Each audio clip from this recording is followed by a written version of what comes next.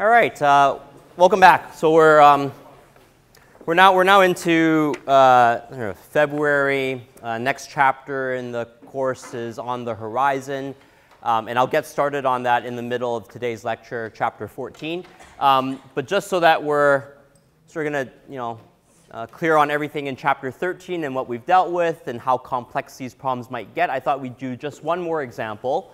Um, and I believe all the instructors are going to cover this example as well in all the other sections. Um, so, so here it is. Um, the, the problem that we're dealing with, uh, very similar to some other example problems that you might have seen. You're going to see this a lot, the pin in the slot type, uh, type geometry. So what do we have here? We have a, um, a slot that's attached to a, uh, uh the ceiling at location O, um, which is fixed. Um, and then inside of the slot, we have a, a, cylinder C. So the whole cylinder is the entire circle right here. And pin C, I'm basically pointing to just the center of it that fits inside of the slot. And the idea is as this entire slot assembly swings from the top to the bottom, this pin C runs along the frictionless surface BD. And we give you some information about a very specific moment in time and that particular location in time is when theta is equal to 60 degrees. Okay? So you're told the cylinder C has mass of 2 kilograms. Uh, the, the, the pin runs through the slot at that given location. Um, BD is frictionless. And you're asked to find the following. Find the force of the slot acting on the pin at C when theta is equal to 60 degrees. Okay? And we're going to say express your answer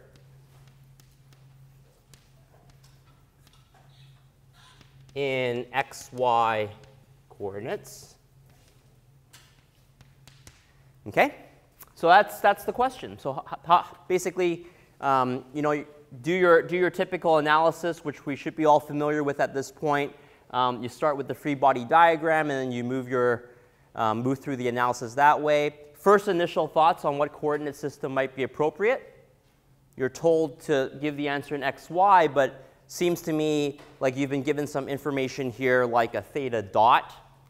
Um, and, and, there's another clue here. The other clue is that as this slot rotates, um, clearly there's lots of information that's happening in both r and theta. And so it appears to me this is the type of problem where you're going to first find information in r theta, then convert to xy. So that seems pretty reasonable. Let's start with the, uh, the free body diagram, though. So I'm going to put here as my point C, understanding that that's just the peg basically at this point um, that, I'm, that I'm zoning in on, but it's actually C um, for the whole cylinder because I have to deal with its mass. Okay, so what are, what are the forces acting, acting on, on this, the peg part of the entire cylinder? Anybody? So it's, it's the vertical, I'm going to also give you that this is my yx. And, and gravity, gravity does matter in this problem because you weren't told to neglect it. So first thought should be that you do have an mg, definitely. Okay. What else do you have in terms of forces acting on the cylinder? It's sitting on a surface, right? So right, right, on, the, right on the cylinder, there should also be a normal force. So there is, in fact, a normal force acting in that direction. Um, and then if you're looking for the force of the slot on that pin that's acting on the cylinder, what does that mean? That means that there should also be another normal force from the slot to the cylinder or to the pin. And that normal force should be like this. We're going to call that the force slot. Right? Oops, sorry, drawing that the wrong angle here. Let's do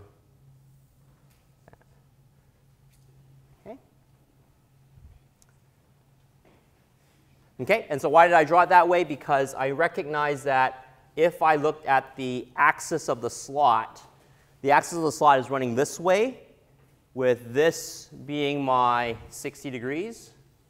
So this is my 60 degrees here. And so in order for that to be a normal force, normal forces always act perpendicular to the surface. So the surface of the slot is pushing on the, the peg of the cylinder this way. This is clearly going to be a 30 degree angle if the other one is a 60. Okay, so those are the three forces that we're interested in. And now we can break it down into our r theta components for force and take a look at what we actually need.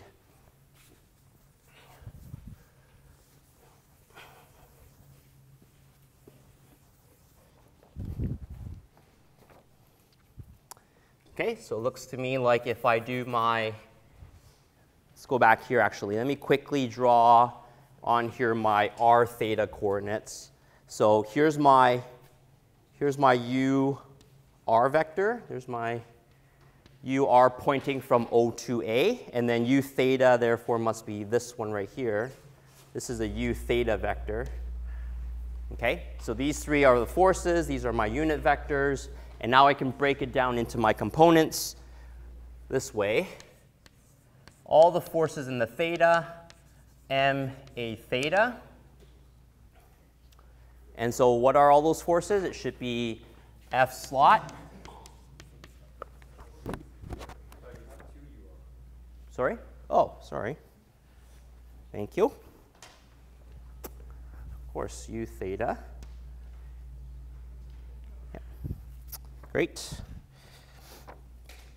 So F slot, and then I'm going to add mg cos 60 in that direction. Mm -hmm.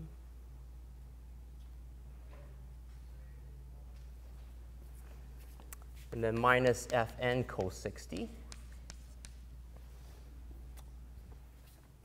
And then sum of forces in the R and AR. And so in the r direction, it looks to me like it must be the, if I break it down, the sine components. Mg sine 60 minus fn sine 60.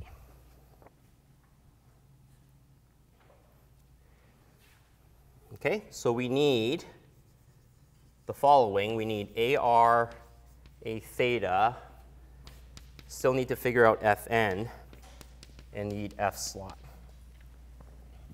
Okay, so we have a bunch of unknowns here.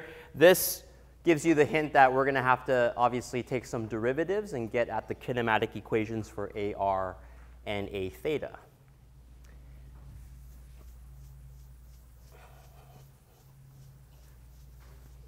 Okay, any, any questions on that? Should be pretty straightforward, just breaking down the vectors. So let's go ahead with our AR and A theta. AR is our typical AR double dot uh, minus R theta dot squared, etc. So this is R theta double dot. Okay, so it should be should be like that. And then what do we have? We know that theta is 60 degrees at this particular instant in time. We also know that theta dot is 0.5 radians per second. And based on the diagram, and I, I guess I, there are probably some other uh, like nicely worded sentences in the, in the actual problem in the textbook, but it's basically saying that this is a constant, a constant theta dot. And it's indicated in the diagram as well, right? We're telling you that it's not going to change.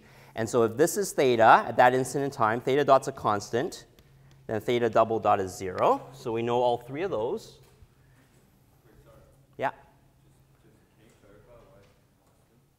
I'm just saying that it's given to you, that it's constant. I'm saying that it was written on the diagram that way, and we didn't tell you that it was a function of anything. Yeah. Okay, so that's your theta, theta dot, theta double dot, and then your r Okay, so what do we do? How do we deal with r? r is obviously the, um, the distance that we're interested in from O to the pin as it runs along the surface. And it's clearly changing and it's dependent on the theta. You've seen this type of problem before. And the one thing that is constant, however, is the distance from O to the surface. So we're going to use this 0.4. And that should be pretty obvious. We're going to just basically say that r has to be that hypotenuse of a triangle with a sine using 0.4. So it's pretty clear to me that r is 0.4 divided by sine theta, right? Okay, 0.4 is r sine theta. Okay, and then That's where it gets a bit complicated because you have to take derivatives and you got to use quotient rule a couple times. So this is going to be your, you can check this at home. I won't belabor the point. Just make sure you do your derivatives and include the chain rule. That.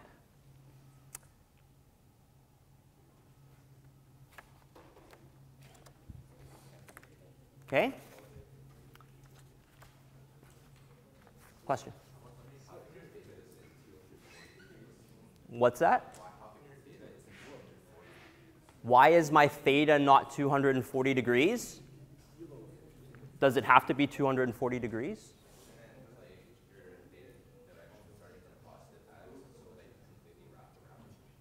Theta direction doesn't always have to start from positive x. Yeah. So why don't we, why don't we say this? You can say that uh, theta is equal to 0 from this direction. Then everything is fine, right? Okay? So we're going to give you r dot, and then I'll even give you r double dot. So in my notes, and you should, you should definitely check this at home, there's about three lines of, uh, of algebra here. But you should do the following. R double dot is 0.4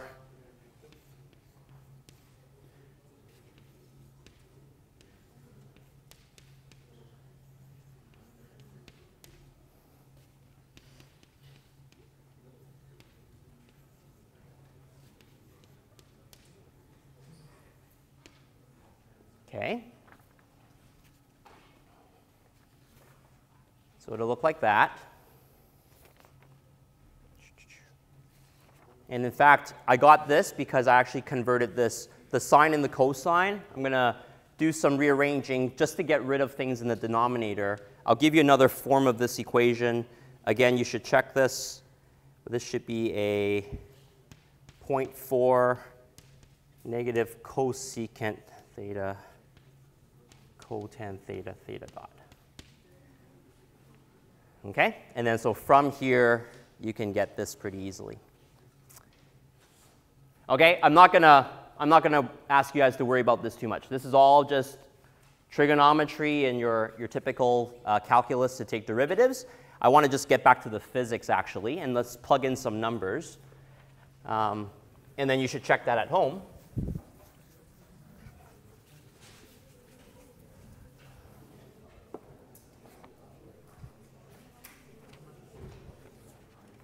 Okay, so now you're going to just take those equations, substitute for theta and theta dot. Yeah. Any any questions by the way? Are we are we okay? Yeah. Can I read out this last line? Okay. All right, here's the last line. R double dot the derivative of this upper line, the middle line, 0.4, parenthesis, CSC theta, cosecant theta, cotan theta squared, theta dot squared, plus cosecant theta cubed, theta dot squared.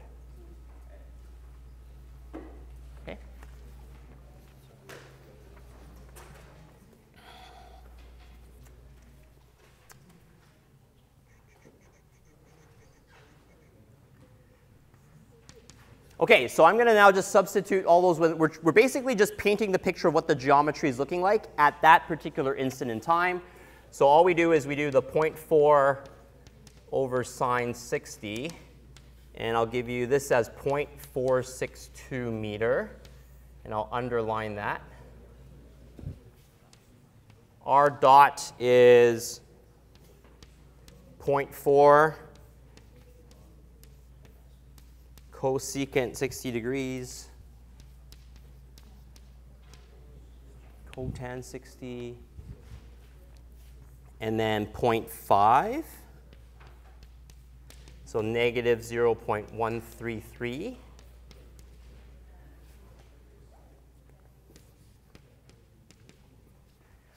And R double dot is and I'll just give you the answer here.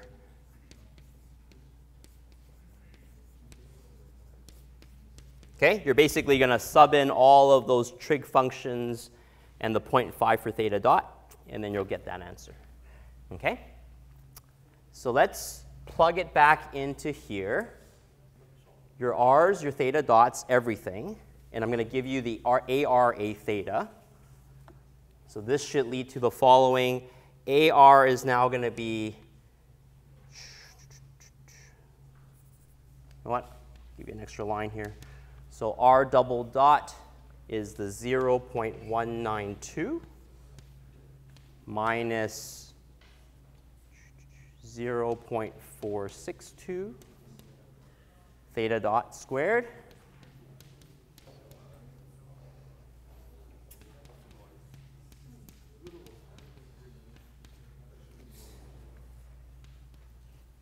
And then A theta.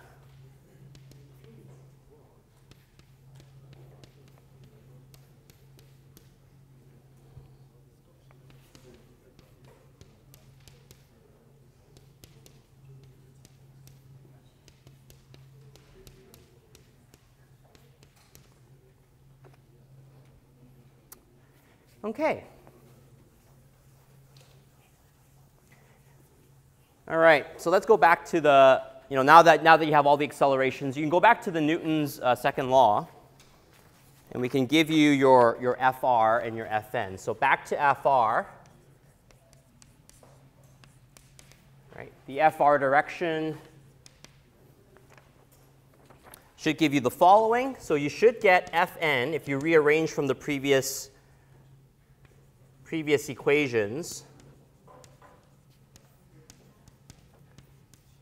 simply mg minus mar sine theta. Now that we have ar, this will lead to 19.4 newtons. And then I'll even give you f theta. So here's your f theta equation. And now we're going to rearrange everything and move f slot to one side. And so f slot is going to be equal to following.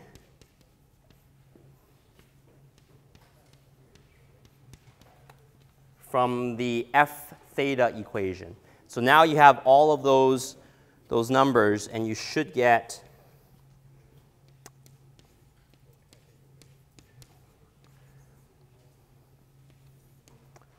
Okay, so the number pops out, and you get a negative 0.376, which actually means that you guessed wrong in its direction initially, right? And so we should redraw that diagram just to be clear what all the forces will look like. Okay, so here's the diagram, and I'm going to redraw the free body diagram on this side. Okay. So here's the new free body diagram.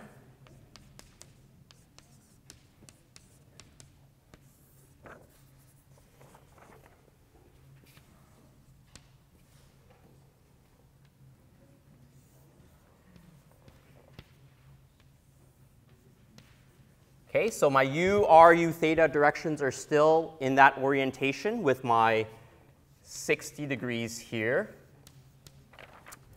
Okay, and my FP, I originally had it pointing downward sort of into the ground. The minus sign in the solution tells me it actually goes the other way. So my FP actually goes this way. Oh, sorry, F slot.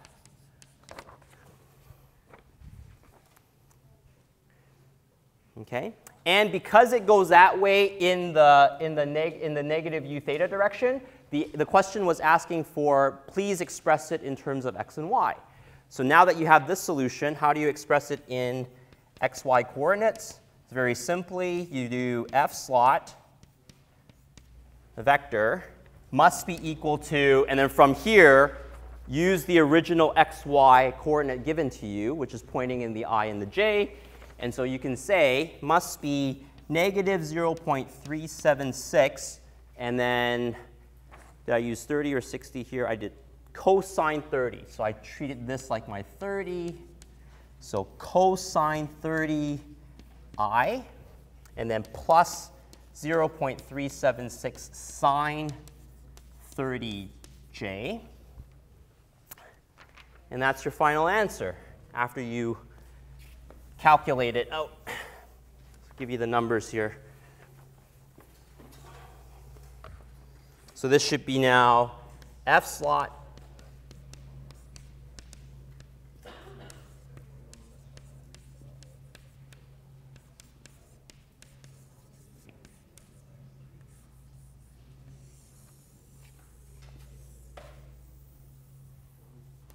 Okay, so there's your final answer in xy as, as requested. Any, uh, any questions on that? No?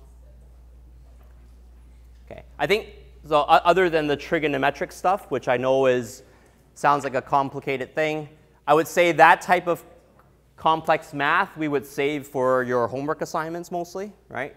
And we would really focus on just the, the physics of the problem in, in things like exam problems. Saw a question up there, yeah. What's that? Okay, yeah. Okay, I'll give you one more, I'll give you one more piece of information.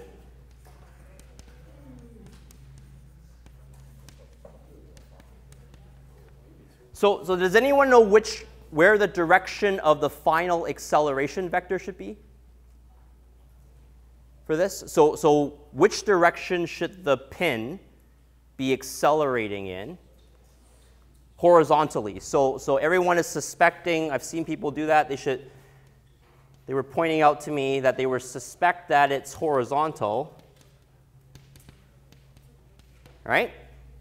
But right now, the answer that I gave you in the a theta AR, it was in r theta coordinates. So you should really check that. So the way you check that is you say check and you should say acceleration is a theta u theta plus ar u r, right? But basically, when you try to convert this to xy, u theta and ur each are in components of xy, and you can break them down into sines and cosines and add it back together, right? So you should be able to do the following.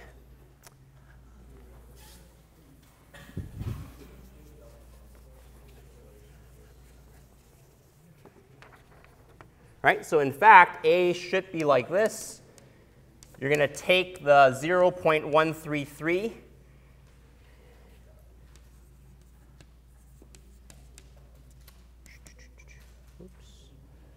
and the negative 0.077. Oops.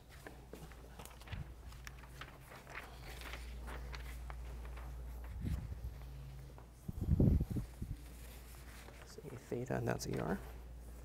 So this is my A theta. This is my AR, right? So you're basically taking the independent components of them in the I, and then you're doing the same in the J.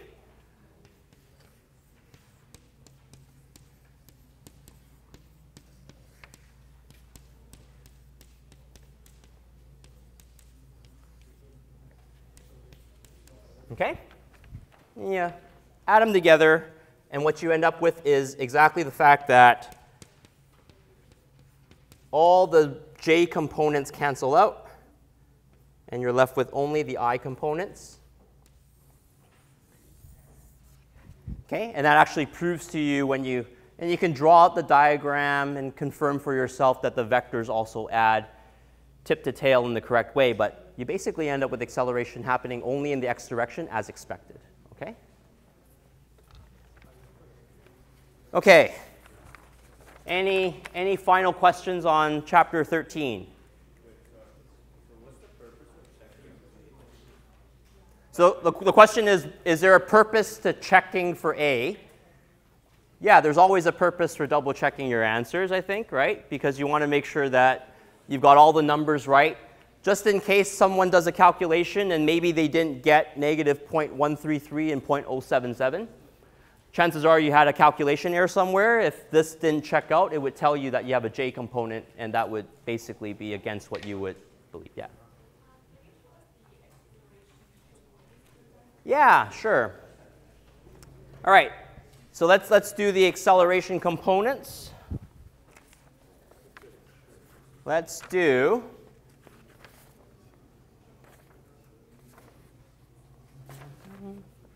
can I draw that?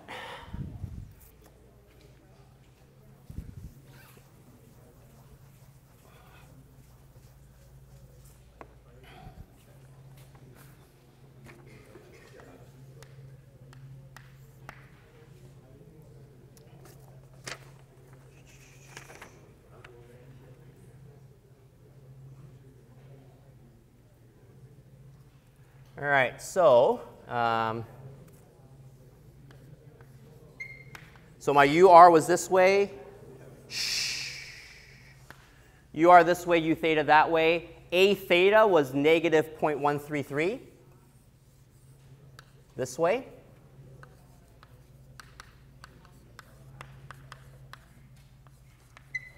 Okay, so it points in the opposite direction to U theta. And then I have here 0.077 for AR. So it's right here. This is my AR is 0.077. Okay? And so you should check those numbers. My directions are now correct. And if you add these two vectors, it should be there.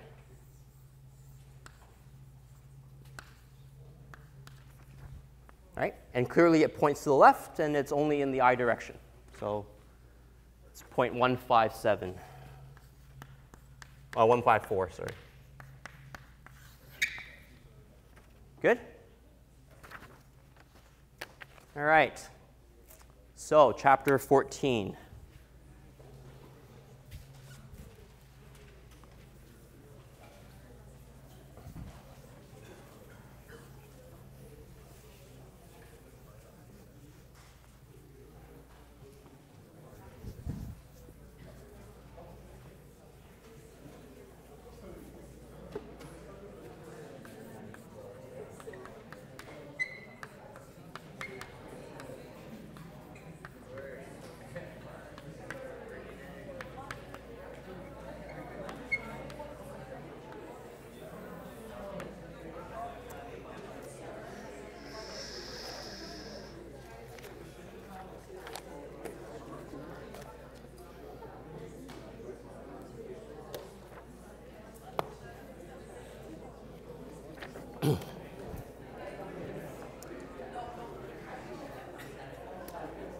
Okay. Yeah. Sorry, just one quick question. Because the last example, theta dot was constant. How is how is it accelerating the left if the change in the angle was constant? Or is it just because ball is accelerating like arms that lose the head of the? Yeah, well, I think I think it should make sense just by understanding a theta versus AR, right? So if I mean like a theta and AR are clearly in in perpendicular directions to each other, it's the sum of them that gives them the overall acceleration of of an of an object, right? Okay. Does that make sense? Okay. Okay, so we're, we're, on to, we're on to the next section. The whole, the whole point here is we're now just going to take everything from chapter 13, right? F is equal to ma, and we're going to arm we're going to arm you with more and more tools to solve problems. So F sum of forces is equal to ma, that Newton's second law, always true. Anytime you run into a problem, feel free to go back to that. But I can tell you that there are lots of problems where F is equal to ma is actually a bit harder to solve than you might think. And sometimes thinking of it in another approach using concepts like this one, work and energy, is really, really helpful. Okay, and so we're going to dive into what exactly is the definition of work and energy. I'm sure you guys have seen this in high school already um, in various forms, and so we're just going to give you definitions, but we're going to start putting together you know, vector formulas and integrals so that you have a more, um, a more uh, physical uh, definition, like an, a precise definition of what exactly work and energy are. Okay, so I'll start by the first definition. We're going to start with work first and then we will work towards energy. So here's definition, work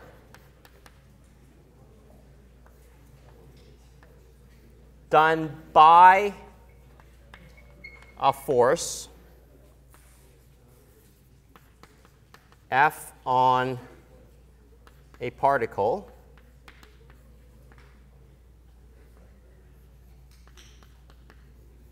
moving over a small displacement dr is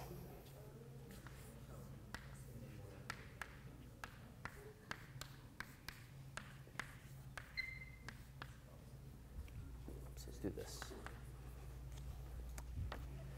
Okay, so here's our first definition using a dot product of two vectors. The idea is every time there's a force, okay, so that force is acting with units of newtons. Every time that force acts over a distance, then work is being done by the force on the particle. And the work is given by this scalar quantity du. Okay? U meaning uh, sort of uh, the, the work unit. Okay? And so the clear, the clear, the, the most important thing here is recognizing that you start with actually two things that are vectors. Dot product just means you're taking a projection of one vector onto the other. And so where does this come in? Like how do I draw a diagram of this? Let's pick my most general case. We're going to do two dimensions. Let's say the particle is moving in a curvilinear path. So I'm going to have a particle p right there. And then at some later time, it's moved to p prime. Okay? From here to here, there's going to be like a delta r, right?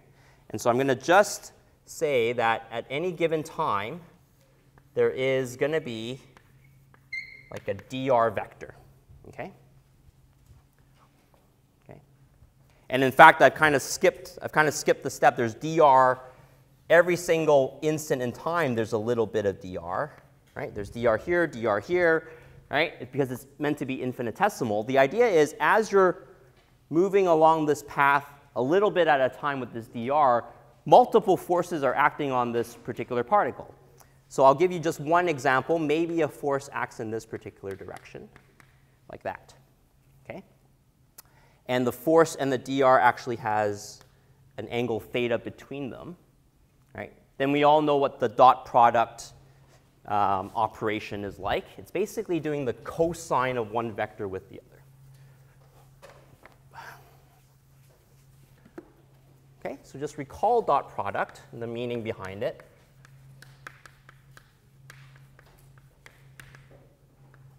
Right? It's basically take one vector's projection on the other.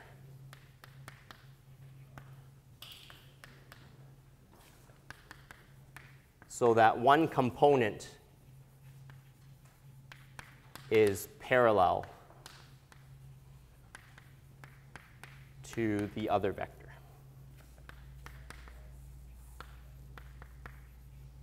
Okay? So another way to write this, du, instead of just saying f dot dr, you could write it as follows. You could just say it's f cosine theta. Okay, so you could take the, the magnitude of f, the vector, take the cosine of it, so that you end up with this component right there. You end up with this component of, of f. So this is my f cosine theta. So this running along dr, and you multiply that by the magnitude of dr. And the magnitude of dr, you know that even in curvilinear uh, um, paths, typically what we write is a ds, right? So if you take dr in the vector form, what we basically mean is run along the curvilinear path using s as our parameter. So this is basically du magnitude of f cosine theta ds. Okay? And when, once you've made this definition using dot product, then what you do is you integrate along the entire path to answer how much work was actually done from particle as it moved from one end of the path to the other. And so you just move along, integrating the whole way. Okay? And so work along a path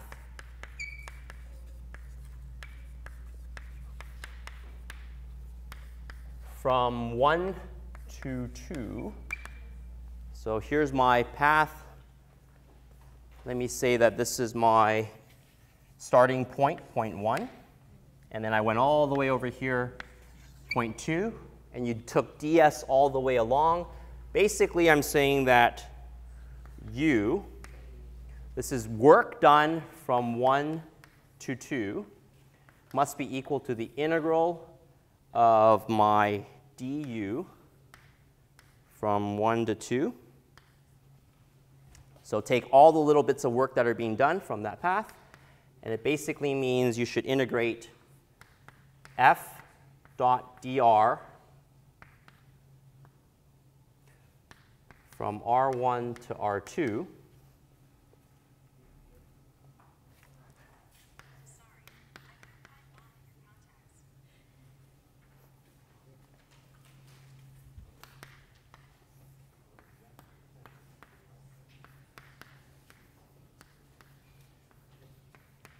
Okay?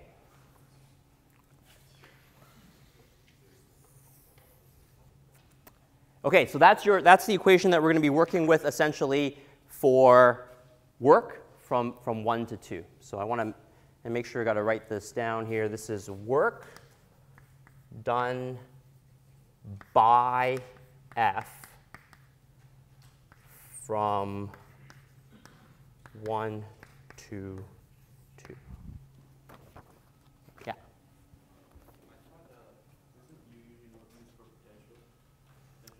isn't, so the question is, are we using the right symbol here? Don't worry about the symbols. Every textbook is going to throw a different symbol at U.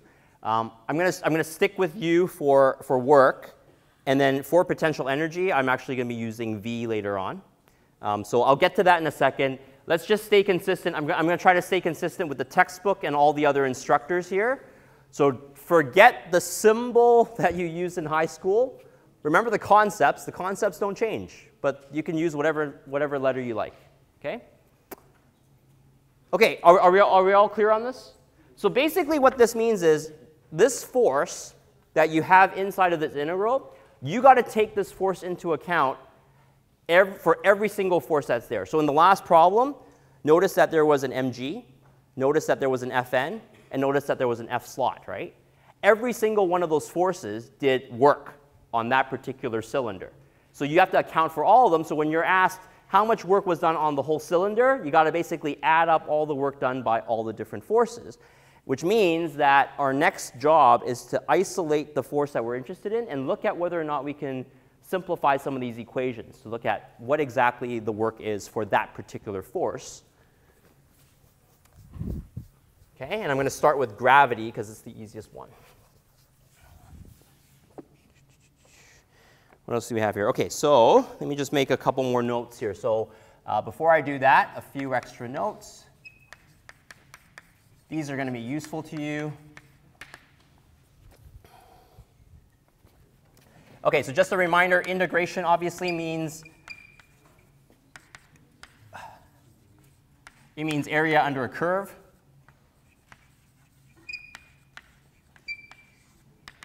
Right? And so what curve is this under? Basically, you're moving along a path S1 to S2.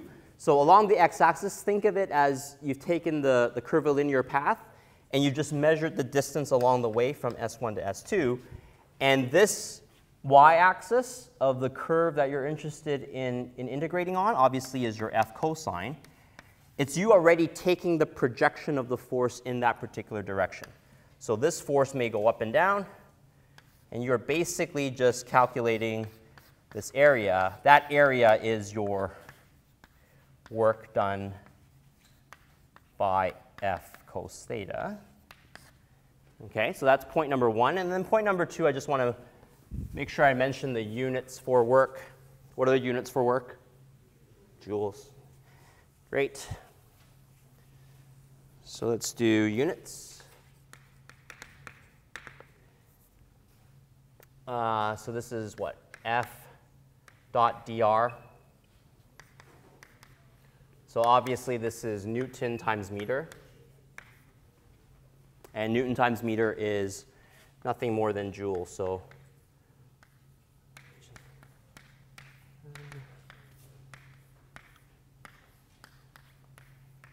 okay.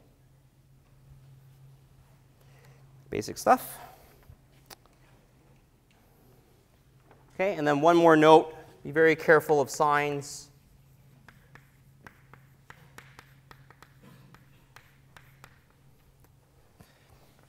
Okay, so if you get positive work, so what does positive work mean? Basically means that the force is in the same direction as the motion of the particle. That gives you positive, but negative is also possible. So whenever it's positive, motion force in the same direction, you're basically, you know, putting the work into the particle to generally accelerate it.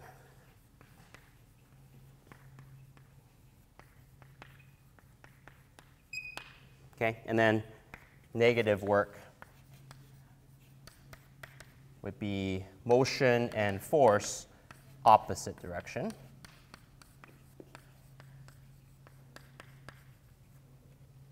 Okay, now the negative one is going to be useful right away because like I said, I want to cover at least gravity today.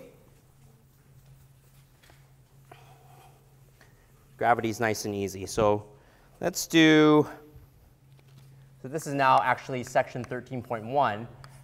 And under this heading of the, of the chapter is where we deal with work of individual forces that are of interest to us.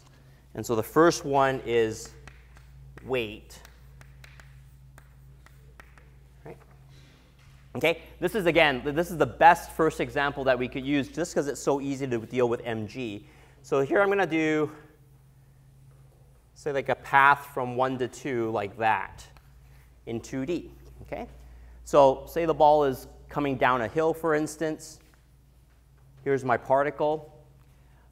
Okay, and this particle has mass, m, so its weight is mg. And everywhere along the path, mg stays constant, right? like that. Okay? So that's great. Where is the dr vector in this? The dr vector in this is this particular direction like that. Like that. dr, that.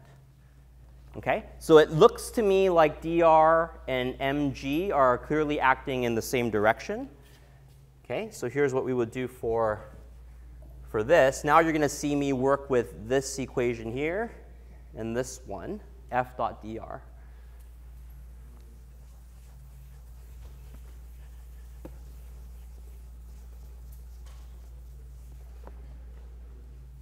Okay, so notation